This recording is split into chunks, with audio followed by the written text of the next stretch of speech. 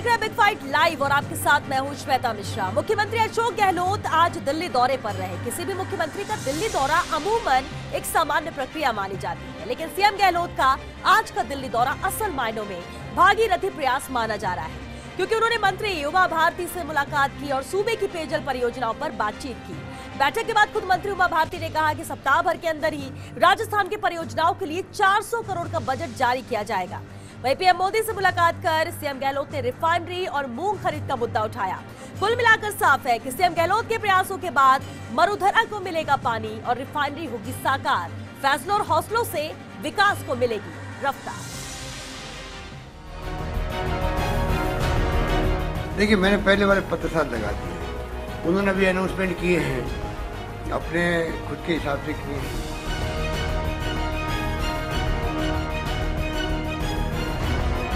कोई कारण नहीं होता है कि सरकार बदलने के साथ साथ में विकास के काम रुक गया है। ये कभी नहीं होना चाहिए, कहीं नहीं।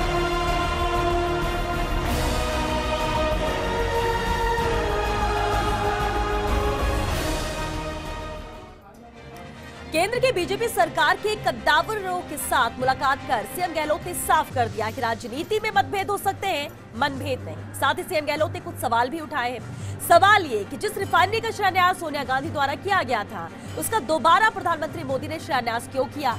जिस परियोजना को पूर्व मुख्यमंत्री घाटे का सौदा बता रही थी, आखिर इतने वर्ष उसको लटकाने के बाद वही 26 प्रतिशत भागीदारी क्यों रखी गई? तो क्या है इन मुलाकातों के मायने? बिग फाइट लाइव में बहस आज इसी बड़े मुद्दे पर। बहस करने के लिए मेहमान हमारे साथ मौजूद हैं। हमारे साथ हैं अलवर से जुड़े हैं श्रम मंत्री टीकाराम जूली जी, कांग्रेस नेता आरसी चौधरी जी हमारे साथ हैं, बीजेपी नेता जितेंद्र श्रीमाली जी और साथ ही वाम दल नेता डॉक्टर संजय माधव भी हमारे साथ है। बहुत स्वागत है आप सभी का बिग फाइट लाइव में। अहम सवाल है टीकाराम जूली जी, मुलाकात हुई है केंद्र में प्रधानमंत्री नरेंद्र मोदी के साथ खास तौर से, लेकिन कई आरोप भी मुख्यमंत्री अशोक गहलोत ने लगाए, साफ़ तौर पर सवाल उठाए रिफाइनरी को लेकर। मंत्री जी। नहीं सही बात है कि पिछले पाँच साल से रिफाइनरी को रोकने का काम भारतीय जनता पार्टी की सरकार के द्वारा किया गया लेकिन मैं धन्यवाद देना चाहूँगा अशोक गहलोत जी को जिनके भागीरथी पर, प्रयास थे कि पहले उन्होंने रिफाइनरी का शिलान्यास कराया और अब भी दोबारा सरकार बनते ही रिफाइनरी पर उन्होंने काम शुरू कर दिया। और गहलोत जी ने पहले ही कहा था कि राजस्थान की जनता का भला अगर होता है तो मुझे दिल्ली चाहे कितनी बार जाना पड़े कितनी भी बार राजस्थान की जनता के लिए अगर मुझे भीख भी मांगनी पड़ेगी तो मैं मांगूँगा। आज गहलोत साहब वहाँ पे गए हैं बहुत बड़ी बात है और उन्होंने अपनी बात प्रधानमंत्री जी के सामने रखी है। और रिफाइनरी अगर शुरू होती है तो इसमें पार्टी की बात नहीं है। ये एक अलग बात है कि गहलोत जी ने शुरुआत की तो एक श्रेय उनको जाता है। लेकिन पूरे राजस्थान से जुड़ा हुआ मुद्दा है। एक लाख लोगों को रोज़गार का मुद्दा है। राजस्थान की अर्थव्यवस्था का मुद्दा है। बिल्कुल बिल्कुल। ये ये सही बात टीकाराम जी, कि विकास को लेकर बात है और विकास के लिए जितनी भी कोशिश की जानी चाहिए, वो प्रदेश के मुखिया को करनी चाहिए और वो नज़र भी आ रही है, जिस तरह से मुख्यमंत्री अशोक गहलोत का दिल्ली दौरा था और ये मुलाकात हुई है। लेकिन जितेंद्र श्रीमाली जी, सवाल बहुत सारे उठाए हैं मुख्यमंत्री अशोक गहलोत ने। पिछली सरकार को, पूर्ववर्ती सरकार जो कर सकती थी, वो किया नहीं गया और ये सब अहम प्रोजेक्ट थे जिसे मील का पत्थर माना जा रहा था प्रदेश के लिए, उसे लटका कर रखा गया। देखिए सबसे पहले तो मैं ये बात कहूँगा कि अब अशोक गहलोत साहब क्या बोल रहे हैं और किस कारण से बोल रहे हैं लोकसभा चुनाव को ध्यान में रखते हुए ये वो जाने। परंतु 400 करोड़ रुपए का जिस प्रकार से केंद्र सरकार ने जो राज्य राज्य को जो परियोजना में जो पैसा दिया है ये इस बात को अपने आप के अंदर मिसाल है कि राजस्थान के अंदर चाहे सरकार कांग्रेस की बने चाहे बीजेपी के लिए बने भारतीय जनता पार्टी की जो केंद्र में सरकार है वह अपने समान दृष्टि से उसके ऊपर जो पैसा खर्च करना है विकास के लिए जनता के भलाई के लिए उसमें कहीं पीछे नहीं हटने वाली। पहली बात। दूसरी बात मैं कह देना चाह रहा हूँ जो रिफाइनरी की बात कर रहे हैं मैं रिफाइनरी की बात इनको इनसे पूछना चाहता हूँ कि आयुष्मान भारत के लिए जब केंद्र से डायरेक्ट लोगों के पास के अंदर स्वास्थ्य के कार्ड पहुँच रहे हैं तो उन्होंने क्यों उस योजना को बंद किया? राजस्थान में अनेक योजनाएँ जो भारतीय जनता पार्टी की जब राजस्थान में सरकार थी और केंद्र में भी सरकार है तो वो योजनाएँ उन्होंने क्यों बंद किया? उसके कारण ये रहे कि जब अनेक योजनाएँ ऐसी होती है जहाँ पर 40 परसेंट पचास परसेंट केंद्र सरकार को देना पड़ता है चालीस पचास परसेंट राज्य सरकार को देना पड़ता है। दोनों सरकारें मिलकर के जनता के विकास के इसके लिए काम करती है। है। उन समस्त योजनाओं को अशोक गहलोत साहब ने रोक दिया। मैं पूछना चाहता हूँ क्या समस्त कि योजनाएँ रोक दी गई? चौधरी साहब जिस तरह के आरोप लग रहे हैं कि सभी सभी योजनाओं को रोक दिया गया जबकि मुख्यमंत्री ने सभी योजनाएँ नहीं रोकी है। जितेंद्र शिमाली जी और ये तो वादा पहले किया गया आयुष्मान था। भारत आयुष्मान चौधरी साहब इसके जवाब जरा दे दीजिए आप। वो राज्य सरकार ने दिया नहीं हाँ। इसके कारण से राजस्थान में लागू नहीं हो पाई। और मैं आपको बताना चाह रहा हूँ। नहीं आपके पास लौटेंगे जितेंद्र जितना वक्त नहीं है आपने अपनी बात रखी। चलिए चौधरी साहब। मैं ये बताना चाह रहा हूँ कि 2013 के अंदर भारतीय जनता पार्टी को एक सीट जिता के लोकतंत्र के इतिहास में पहली बार बहुत बड़ा बहुमत दिया हाँ। उसके बाद में उन्होंने कहा केंद्र के अंदर भारतीय जनता पार्टी की सरकार बनेगी डबल हम्म। इंजन की सरकार बनेगी राज्य को गति मिलेगी 25 के 25 सांसद मिले हम्म। लेकिन दुर्भाग्य यह रहा कि प्रदेश के अंदर जो पूर्ववर्ती सरकार की यूपीए की जो योजनाएँ थी हम्म। चाहे वो रिफाइनरी की योजना हो चाहे वो भीलवाड़ा में मेमो कोच की योजना हो। चाहे जयपुर के अंदर वो मेट्रो रेल परियोजना हो चाहे बिशलपुर पेयजल की सेकंड परियोजना हो चाहे रतलाम से लेके डूंगरपुर और बांसवाड़ा की रेल परियोजना हो चाहे टोंक स्वाईमाधोपुर अजमेर की रेल यात्रा हो चाहे करौली समर समर्थपुरा की तमाम योजना हो इन तमाम योजनाओं का राजस्थान की साढ़े सात करोड़ जनता को सौभाग्य मिलता फ़ायदा होता अगर रिफाइनरी चार साल में पूर्ण होती तो इस प्रदेश को बहुत बड़ा राजस्व मिलता। संजय माधव जी संजय जी बात तो वही हो गई। ये ये बड़ी परियोजनाएँ थी। चार हज़ार करोड़ की बड़ी बड़ी परियोजनाएँ थे। पिछली सरकार ने इसे लटका दिया वक्त लग गया फिर से वही काम पूरा हो रहा है। अगर ये वक्त पर हो जाता तो शायद पाँच साल पहले ये सब चीज़ें हो जाती। संजय माधव जी क्या इतफाक रखेंगे इस बात से? ना बिल्कुल श्वेता जी मैं मेरा ये मानना है आज जो गहलोत जी दिल्ली गए हैं गहलोत जी राजस्थान के मुख्यमंत्री हैं और राजस्थान की सरकार राजस्थान जनता की सरकार है। वो किसी भी पार्टी की हो चाहे दिल्ली में नरेंद्र मोदी जी प्रधानमंत्री हैं, हिंदुस्तान के प्रधानमंत्री हैं वो बीजेपी के प्रधानमंत्री नहीं है और ये कोई भी सरकार जनता जो चुनती है उसका दायित्व बनता है कि जनता के हित में काम करे। वो बजाय राजनीतिक लाभ हानि को ध्यान में रखे हुए। सही बात अगर 400 करोड़ की परियोजना ये आज पाँच साल पहले पूरी हो जाती तो इसके परिणाम दूसरे होते। लेकिन ये सही बात है साथ ही ये चौधरी सही कह रहे हैं। बहुत सारी ऐसी परियोजनाएँ थी जिनको राजनीतिक विद्वेष के कारण सिर्फ़ इसलिए लटका के रखा गया और ये अक्सर जो है ये हमारा दुर्भाग्य है कि हमारे राजस्थान का भी और देश का दुर्भाग्य है अक्सर ऐसा होता है एक पार्टी बदलती है तो दूसरी पार्टी के आप आप आप ये आप इस तरह की आपको जानकारी तो-? तो श्वेता जी कह रही है, तो प्रमाण- जी जी। ये तो आप आरोप लगा रहे कि कांग्रेस के कार्यकर्ता के तौर पर कैसे काम ये करे वो ये लेता प्रमाण लेता आपके सामने। आप हैं आप जो हाँ। जो अपने इसकी परियोजना रिफाइनरी थी ये रिफाइनरी का काम किस प्रकार से दो दो बार उद्घाटन हो गया ठीक किस है प्रकार से जी सच्चाई है टीकाराम इसमें जी ठीक है ये ये एक बड़ी बात है कि मुलाकात होती उमा भारती से और जो ये दूसरी किश्त है 400 करोड़ की उसे एक हफ़्ते में आज, रिलीज़ करने की बात यहाँ पर कह दी गई है ताकि ये विकास के काम रुके ना आगे पूरे हो। लेकिन टीकाराम जी आप क्या वजह मानते हैं? इतनी बड़ी बड़ी योजनाएँ थी जिसे लटका कर रखा गया और इसके बाद अगर रिफाइनरी की बात कर ली जाए तो उसी परसेंट पर ही यहाँ पर बात फिक्स होती है और उसके बाद वही काम आगे बढ़ाया जाता है। लेकिन पहले ही उसे सोनिया गांधी ने उसका शिलान्यास किया फिर उसे नए सिरे से प्रधानमंत्री नरेंद्र मोदी उस, उसका लोकार्पण करते हैं शिलान्यास यहाँ पर करते हैं। ऐसे में सवाल ये उठता है कि ये तो क्रेडिट लेने की होड़ थी और क्रेडिट की होड़ में ही यहाँ पर इतना बड़ा प्रोजेक्ट है जो डिले हो गया। देख देखिए मैं ये कहना चाहूँगा कि ऐसा कोई ऐसा प्रोजेक्ट मोदी जी ने शुरू नहीं किया जिसका उद्घाटन इन लोगों ने किया हो। कांग्रेस के शुरू किए हुए प्रोजेक्ट पूरे देश के अंदर उन्हीं का रिबन मोदी जी ने काटा है। और रिफाइनरी यहाँ राजस्थान की लाइफलाइन बनती। आज वो शुरू हो चुकी होती और वहाँ लाखों लोगों को रोज़गार मिल रहा होता। और राजस्थान की अर्थव्यवस्था को एक अलग ही ऊंचाई मिलती। लेकिन सिर्फ़ राजनीतिक रंजिश रखते हुए कि ये काम अशोक गहलोत जी ने किया है इसलिए इसको रोकना है। मैं पूछना चाहता हूँ भारतीय जनता पार्टी के नेताओं से कि मोदी जी ने जो वादे किए थे, वो क्या पूरे कर दिए क्या? आज 20 दिन उनके बचे हैं। केंद्र के अंदर। 20 दिन के बाद में आचार संहिता लग जाएगी। आज इनकी मजबूरी है। रहे हैं, ये जो भी जनता कि लिए करना चाह रहे हैं। कुछ बचा नहीं है इनके पास। इनने कहा के हम खरीदी। 15 थी लाख खाते में डाल देंगे।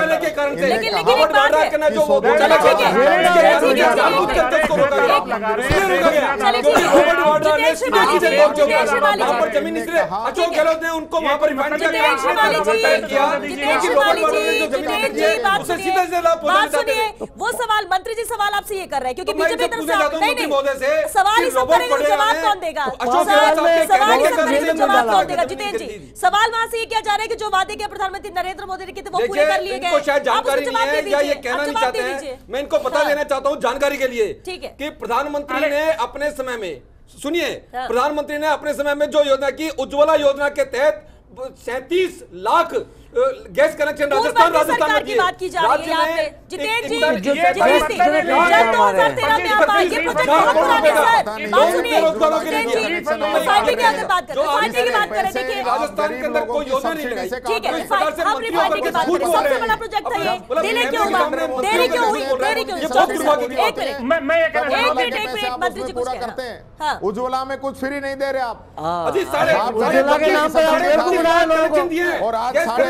पैसे कर रहे हैं उसके कनेक्शन से पूछे जिनके घर के ऊपर कैसे उसके पैसे ले रहे हैं। आपसे आप इस प्रकार से झूठ बोल रहे हैं फ्री में? ठीक है। आप मंत्रियों करके झूठ बोलते हैं। चलिए आपको सोचना चाहिए कि अरे क्या हो रहा है क्या हो रहा है अंदर 25 परसेंट लोगों की गरीब नहीं होती। और आपने रिश्वत नहीं दिए।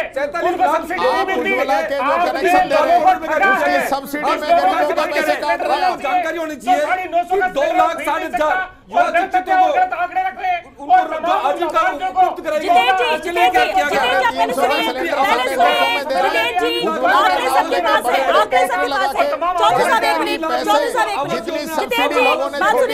अगर सब आंकड़े लेकर पेपर लेके बैठ जाएँगे आंकड़े गिराने लगेंगे इससे काम नहीं होता इससे काम नहीं होता सर इससे काम नहीं होता। अगर हम यहाँ पे मुद्दे की बात कर रहे हैं बीस मिनट की डिबेट है नहीं हम पूरी कहानी नहीं सुन सकते किसने क्या किया? पहले सुनिए पहले बात सुनिए बात सुनिए बात सुनिए आज दिल्ली में मुलाकात मुलाकात हुई एक मिनट एक मिनट ठीक है। सीएम और पीएम की मुलाकात हुई है दिल्ली में मुलाकात होती है अहम मुद्दे थे रिफाइनरी को लेकर और दूसरी परियोजनाएँ चार हज़ार करोड़ की परियोजनाएँ थी। ये पिछली सरकार जब मुख्यमंत्री अशोक गहलोत थे पिछले कार्यकाल की हम बात करें उस वक्त के प्रोजेक्ट है। पाँच साल का आपका कार्यकाल पूरा हो चुका लेकिन ये देरी क्यों हुई? ये देरी क्यों हुई जितेंद्र जी? इसलिए सवाल उठ रहा है। रिफाइनरी का जहाँ तक मामला था रिफाइनरी का जो एमओयू किया गया था उसके अंदर धांधली हुई थी। अच्छा। ठीक है ठीक है ठीक है चलो ठीक है। ठीक है। अगर इतने साल इतने साल लटकाने के बाद इसीलिए सुनिए जितेंद्र जी। बात सुनिए जितेंद्र जी इतने साल लटकाने के बाद भी उतने ही छब्बीस परसेंट की भागीदारी क्यों रखी गई? क्यों रखी गई? क्यों नहीं यहाँ पर बदला गया? अगर फ़ायदे का सौदा होता ठीक है तो चौधरी साहब जवाब जवाब दीजिए आप तो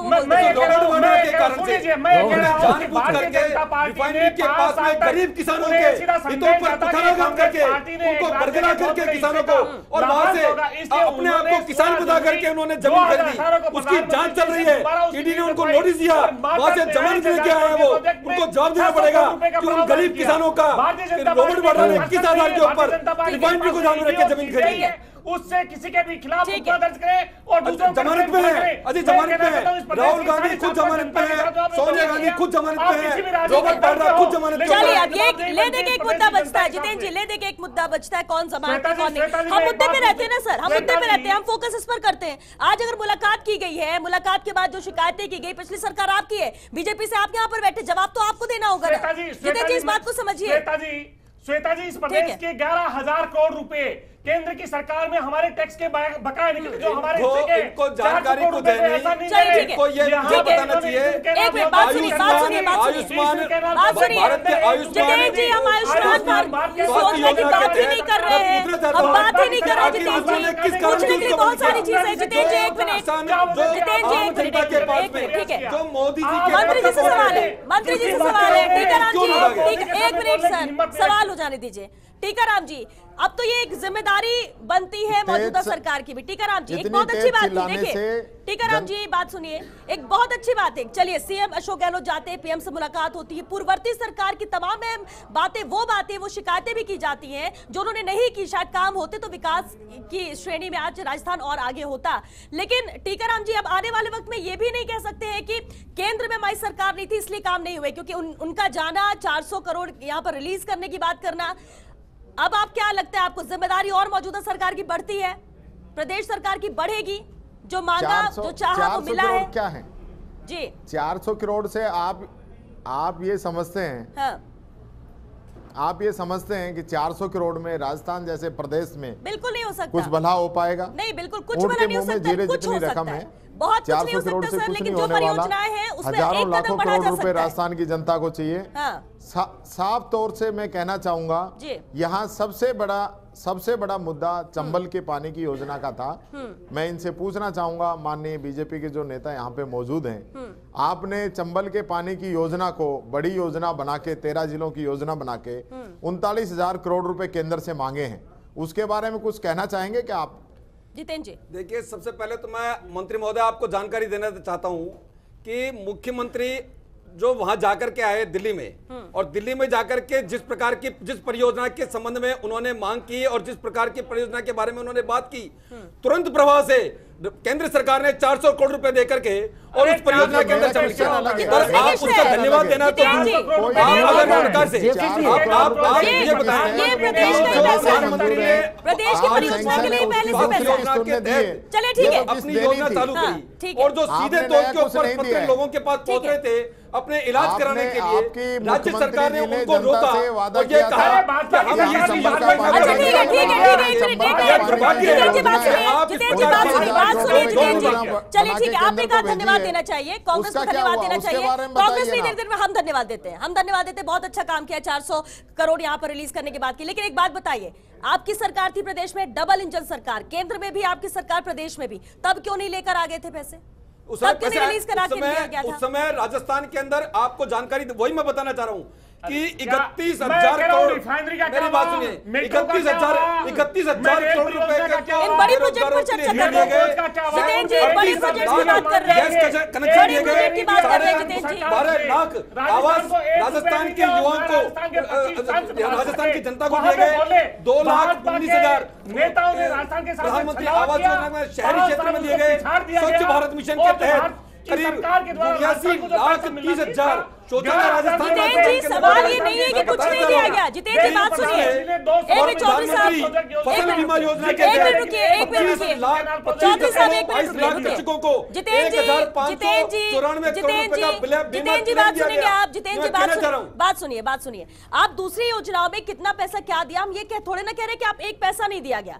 हम जिन बड़े मुद्दों की बात कर रहे हैं जिन बड़े प्रोजेक्ट्स की बात कर रहे हैं रिफाइनरी को लेकर या मेट्रो को लेकर बात हो इन पर चर्चा भी हुई है दिल्ली में। हम बात ये कर रहे हैं कि डिले के पीछे वजह क्या है? और इसके बाद 26 परसेंट भागीदारी में ही वो डील होती है। लेकिन इतना लटकाने के बाद राजस्थान क्या फ़ायदा मिला उससे? प्रदेश के लिए नुकसानदायक ही रहा ये। जयपुर में मेट्रो की जो बात कह रहे हैं हाँ। राजस्थान जयपुर के अंदर मेट्रो का काम लगभग लगभग पूर्ण हो चुका था उसका उद्घाटन करना था आप आप सोचिए। क्योंकि जयपुर शहर की चार दीवारी के अंदर मेट्रो का का संचालन होना था की तो उसका। जो निर्माण था वो उसी सावधानी। को पुरातत्व के विषय को ध्यान में रख करके और किया जाना था और जहाँ तक रिफाइनरी की बात है तो मैं बताने देना चाहता हूँ की के कि रोबर्ट निकाल ने जो वहाँ को जमीनें खरीदी उसके कारण एक उसकी जाँच। भी शामिल हुई और एमओयू जो कंपनी से किया गया वो एमओयू के अंदर अशोक। चलिए, ठीक है।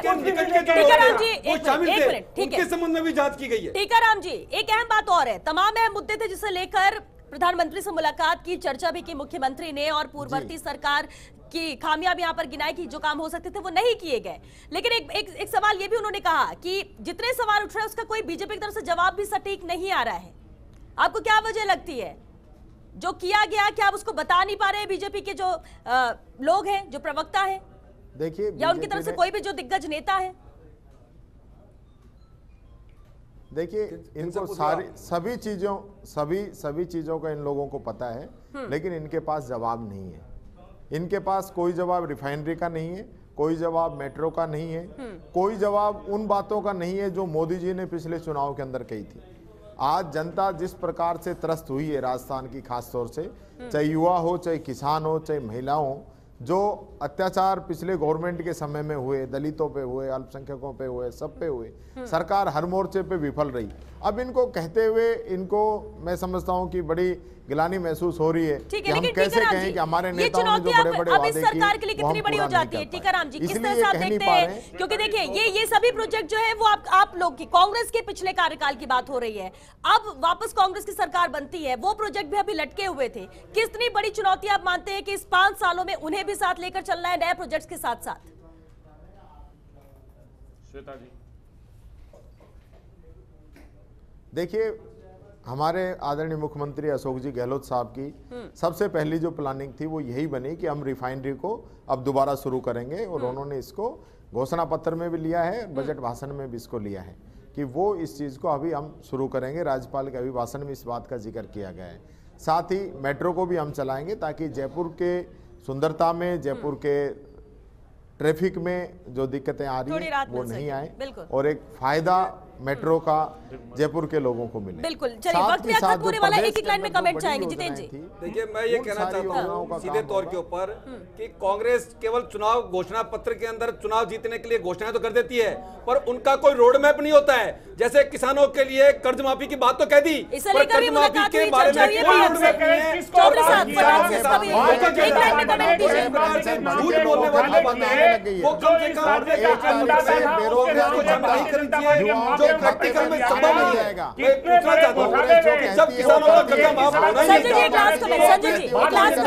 बड़ी चुनौती मानते हैं आप इन्हें पूरा करना है। संजय जी लास्ट कमेंट जितेंद्र जी एक मिनट संजय जी एक लास्ट कमेंट एक लास्ट कमेंट नहीं मैं तो मेरे तो बड़ी हँसी आ रही है। जिस प्रकार का दावा एक तो धन्यवाद चाहते हैं ये जनता को पैसा। दूसरी बात वादे जो इन्होंने सारे पूरे कर दिए। पिछले चुनाव में मंत्री जी सही पूछ रहे हैं। नरेंद्र मोदी ने तो किसानों का कर्जा माफ़ करने का वादा किया था दो करोड़ रोज़गार देने का वादा किया था स्वामीनाथन आयोग की सिफारिश लागू करने का वादा किया था। सारी लागू कर दिए तो सारे वादे कर दिए। और कांग्रेस ने कांग्रेस ने कर्जा कांग्रेस ने कर्जा जनता बड़ा सवाल ये है कि जो पुराने प्रोजेक्ट्स है उसे लेकर चर्चा तो पीएम के साथ मुख्यमंत्री ने की, लेकिन बड़ी चुनौती भी होगी। चुनौती ये कि इन प्रोजेक्ट्स को जल्द से जल्द कम से कम इस कार्य में पूरा करना है, जो पिछली सरकार नहीं कर पाई, उसे इस नई सरकार को करके दिखाना है, जो नए प्रोजेक्ट्स है उनके साथ साथ चलिए, इसी साथ बिग फाइट लाइव में आज के लिए बस इतना ही। दीजिए पूरी टीम को इजाज़त, लेकिन आगे देखना मत भूलिएगा। खास एनालिसिस जोड़ी नंबर वन